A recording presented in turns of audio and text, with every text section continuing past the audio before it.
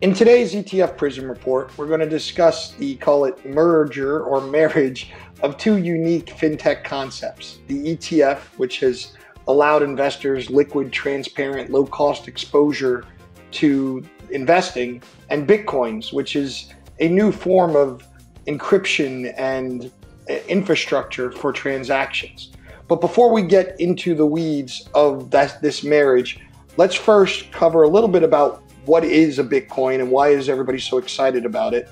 What are the three ETFs that have been proposed? What are the odds that this will actually go through? And finally, will it be a good investment and should it go through? So let's start with why is everybody so excited? Well, it's charts like these that show the utilization of the products. Um, it shows, you know, there are plenty of others that show this the value of Bitcoin and its massive rise. And everybody wants to be part of something like this. And they go, okay, so it's a new currency, it's crowdsourced, I'm in. It's not quite that simple. I look at Bitcoins more like uh, the way it's laid out in this Deloitte and Touche white paper. It's the Internet of Value Exchange. A Bitcoin itself's value is the value placed on expanding the infrastructure.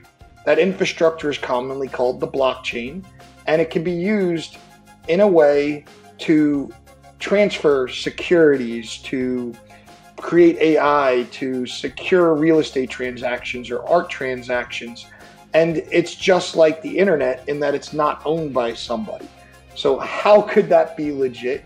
Uh, the reality is the process itself is what makes this thing so valuable, right? The blockchain is created by miners. The miners are compensated with bitcoins. Each time they create a new one, the encoding gets more complicated.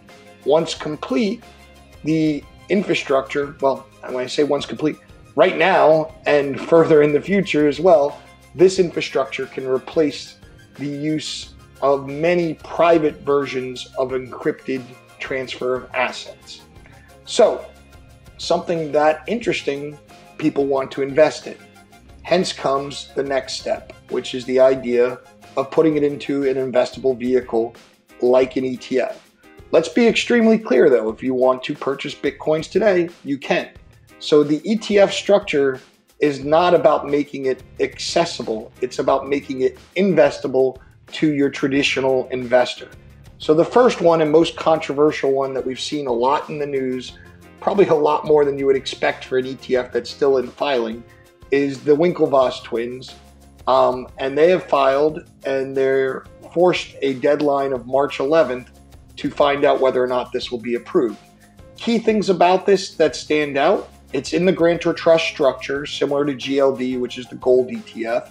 It uses their exchange to set the price, so you can see the benefits to them of such a product. Um, so that's the one that's most likely to come out or most likely to be reviewed in the near future.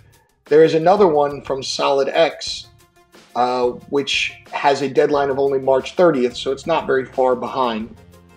The biggest difference between this and the Winklevoss one is one, they included a type of insurance on the Bitcoin exchanges in case there's a hacking or something like that, which ironically would be much harder to to actually do if the blockchain was being used. Number two, uh, they don't use their the Winklevoss exchange. They're using an amalgamation of multiple exchanges to set the price. The third already in a lot of ways exists. This is the Grayscale product. It is an ETP, not an ETF. Um, they use the Jobs Act to create an LP that owns Bitcoins. They listed it after 13 months on the OTC market, and you can trade it today. They have recently, I think it was late January, filed to create an ETF version of this existing idea. So, now on to will it get approved? Well, let's talk a little bit about the process of being approved. Um, Bob Tull is, you know, has worked in this industry for a long time, helping structure things, and he's got a great article on his site about the process. You know, the process itself has gotten much simpler with generic listing standards, but with a product like this, it doesn't apply. So they're having to go through the 19B4 process and try and convince the SEC staff that this meets all the requirements to allow for an exemptive relief to launch an ETF of Bitcoins. It seems as though over the last few years they've dealt with quite a bit of those questions. Um, I've seen them expanding the liquidity. They've, you know, addressed many of the concerns.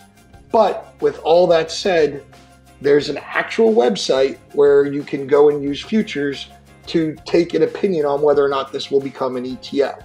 And right now, with all the positive news that had occurred, it's up to a 41% chance, according to investors, that this will take place. Research a week or two ago was all citing it at 10 and 25%. Um, I think most of the public issues we've all seen and they've addressed them. I believe that the biggest issues are more with the structure. So I don't think the other product from SolidX solves this at all either. Now, a more interesting thing to look at besides, you know, what people are betting is the grayscale product that currently exists. It has historically traded at a substantial premium to the value of Bitcoins because it gave liquid access to them in an investable vehicle. You can see here that over the last few weeks, the premium that people are willing to pay to access it has come down substantially. There's been times where this is at a 90% premium to NAV, and now it's in the 15% range. That tells me that many people think it's going to happen. Um, so, what does this all get down to? Will it happen? Will it not? So, my opinion would be more in the 50% range. I do think there are some serious tr- questions about the grantor trust structure um, and whether or not a Bitcoin fits in there, right? A, a Bitcoin has to be a physical asset, it has to be homogenized, and those are things required by the grantor trust structure. And I think those are difficult arguments to make, um, regardless of the demand. All that said, I went to look to see, you know, how often does the SEC say no to things like this? And there's very little examples of them saying no. Um, I think that's mainly because most people work it out with them before they force the 19b4 process. Um, I only see no's to a couple of actively managed structures that were non transparent. We don't have that issue here. But with the 50 50 chance, the question then becomes do you want to invest in this? The answer is I believe yes. Uh, this is an infrastructure that has value. Uh, the ETF structure combined with it really is better for the Bitcoin than it is for the ETF investor for the investor. An investor that wants long-term exposure to a, this infrastructure and Bitcoins can get it today. It is more along the lines of making it more accessible and more legitimized. So for the buy and hold investor, an ETF would be just fine. For the trader, I don't think it's a great idea for the infrastructure or the investment world. Thank you for your time.